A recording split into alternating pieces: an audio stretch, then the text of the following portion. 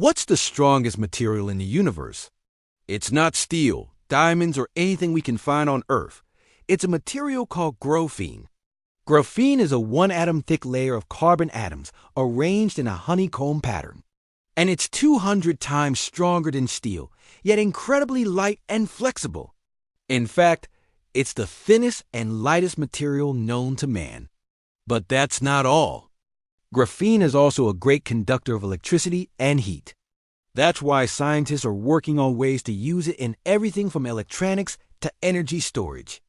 And if you're a space enthusiast, here's why graphene is important for you.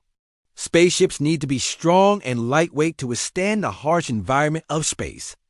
Graphene could help them achieve that, making it possible to build lighter and stronger spaceships that can travel farther and carry more cargo. So the next time you think about strength, remember it's not what you see, it's what you can't.